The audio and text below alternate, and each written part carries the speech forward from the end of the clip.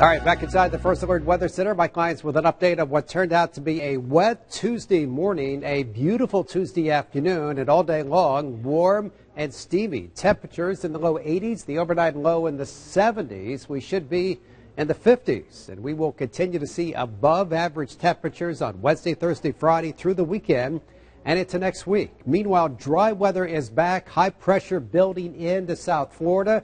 The rain that we saw at times fairly heavy on Tuesday morning. It'll be gone at best, a stray shower here in South Florida. Meanwhile, overnight lows very warm. Again, we should be in the 50s, 68 in Port St. Lucie, 71 in Delray, and 66 in Okeechobee on Wednesday morning.